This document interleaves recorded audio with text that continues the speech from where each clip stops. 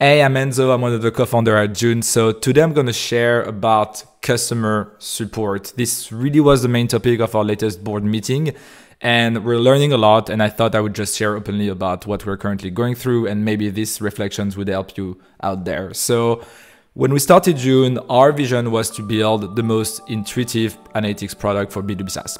And so from the get-go, we've been very intentional that we didn't want to have a single person dedicated to support. We wanted everyone to do support. So we didn't want to have a specialist or a generalist that would take that hat.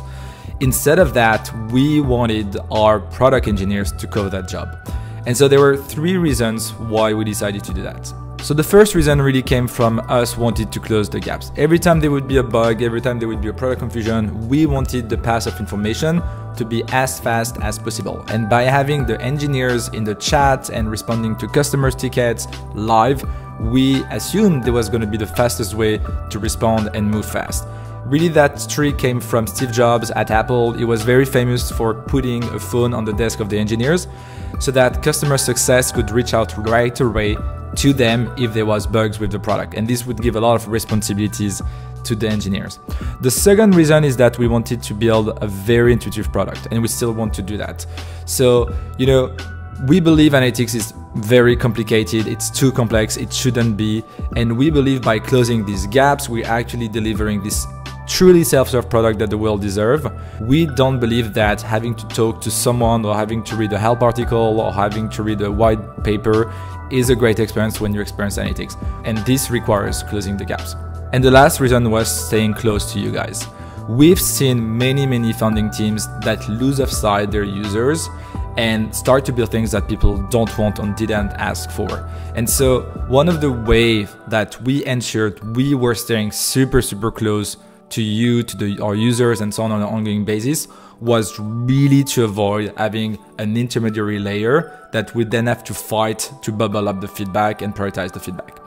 And so, you know, um, trying to get the whole funding team involved in the chat, involved in this conversation, involved in the support was the way that we found to achieve that. Okay, so this is the theory. What did happen next? So, like any tech companies, we have limited engineering resources. We've reached a point where basically we always had one product engineer who was on call or on duty. And we would rotate this responsibility so that it doesn't feel like a burden, but it more feels like, okay, this is my week, I'm going to eat that frog. And um, we also adopted a few processes. So we took that framework that we were using at Intercom called P0, P1, P2, and so on, where basically it would be super, super clear what you would have to start with and and we also started to celebrate when we were closing these P2s, P1s, and so on. So every day, every week, people would really say like, okay, this is how many Ps I have closed, and people would cheer up and so on, which was, I think, fairly, fairly cool. The problem is that even though we were doing that and really getting more efficient, the number of conversations kept increasing. So in the last 12 months, the number of conversations has increased by 5x. And this is including all the efficiencies and improvements that we've done on the customer success side. So uh, we have, you know, a bot that answers a lot of the questions that you may have, especially if they're narrow. We have also an FAQ, which is very, very complete. And uh, of course, the product is a lot more intuitive than it was. But nevertheless, this keeps growing up. And there is a couple of reasons for that. But the main one basically is that sometimes people need to talk to a human. Sometimes you need to talk to a human. And you know, there could be multiple reasons for that. One could be that, you know, it's very specific or and, and this is not documented or um, the other around it's very generic. People have like a very broad question about you know maybe how they should approach their analytics kind of the philosophy and they want to talk to a human for that and that makes total sense. I would expect exactly the same you know. The other thing is that as we push new thing in june we're introducing new confusion new bugs right? And and people use this channel the direct chat to actually you know let us know about it. So you know we just really understood that sometimes you need to talk to human and no matter how efficient we would become with our automated support, we would still have this channel open. We also, to be fully transparent, cherish that channel because it gives us a lot of color, right? Like when people talk to you, you can get a lot of signals that you don't get from a ticket or from you know just people responding with thumb up or thumb down to your FAQ. So we really love it, and you know we decided that of course we would never drop it. So we started to reach a breaking point. And so the epiphany we had, and in retrospect, it sounds so, so dumb, uh, was from our latest board meeting. So we've been lucky enough to have a couple of investors, VC investors that I've worked with many, many B2B SaaS in the past. And so, um, kind of like the epiphany was this sentence.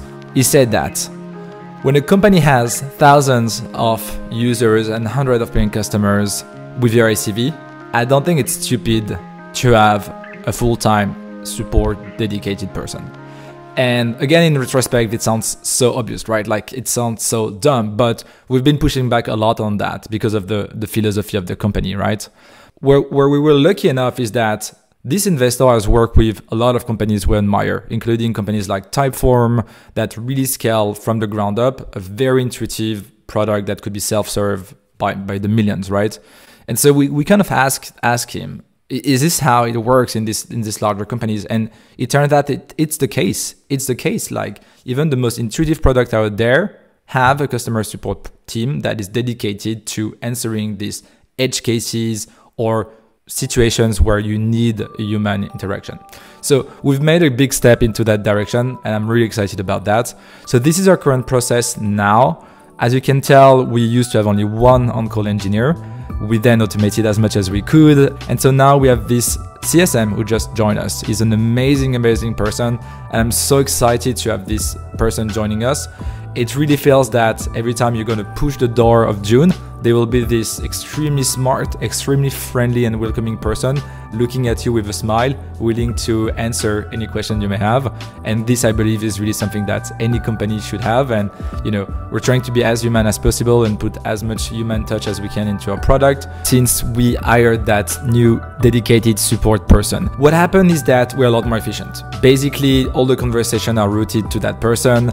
He will make the triage, he will figure out what he can answer right away or pass to the engineers. Uh, users get a faster answer, which I think is super important. This is making our engineers a lot more efficient, meaning they're able to really focus on where they have a core competency, which is you know engineering work most of the time, and uh, closing faster the gaps. In short, this is more efficient for everyone. Uh, I'm really excited about this new phase for June. I think we are finally being very realistic about what it means to build, you know, an intuitive B2B SaaS. It doesn't mean no human interaction.